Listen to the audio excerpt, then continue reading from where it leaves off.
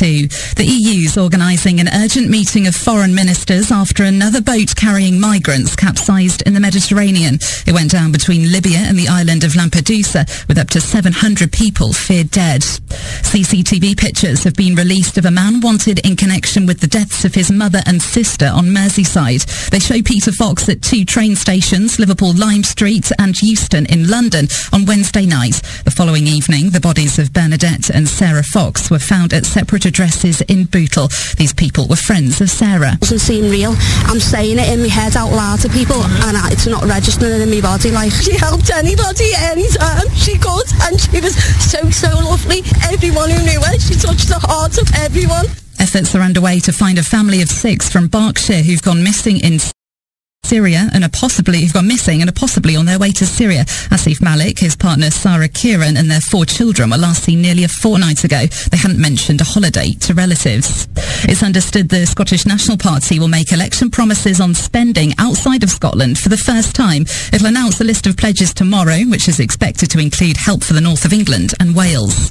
In football, Manchester City are trying to boost their hopes of claiming one of the Premier League's Champions League spots. They're hosting West Ham and Peter Smith is there. And they lead by a goal to nil. The game does have an end of season feel to it. City is stroking the ball around comfortably without really penetrating. West Ham have increased their work rate slightly since falling behind but haven't threatened. Uh, Danny Collins' own goal divides the sides as he inadvertently steered Jesus Navas' cross into his own net off the underside of the crossbar. It's City 1, West Ham nil. Newcastle and Tottenham clash in the top flight later, while Aston Villa and Liverpool kick off in the FA Cup semi-finals at Wembley in an hour. In the Scottish Cup, Inverness and Celtic are 1-1. Celtic goalkeeper Craig Gordon was sent off after bringing down a player in the box, which led to a penalty. That's the latest. I'm Anna Jones. A full carvery, laden with roast beef. Nothing fancy. Except it is. Raised in the fields of Britain and Ireland. Slow roasted to perfection. Succulent and tender. Surrounded by veg. Smothered in gravy. A meal worth waiting for. A national treasure on a plate. Every day, skilled Toby Carvery chefs slow cook the tastiest British and Irish beef.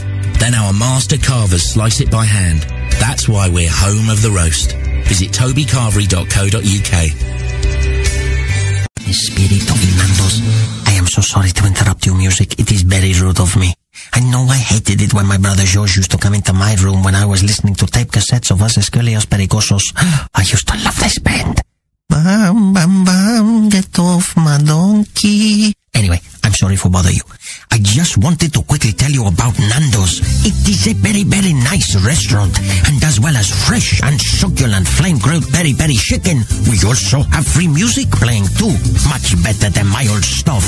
Because... Bam, bam, bam, that's the spirit of Nando's.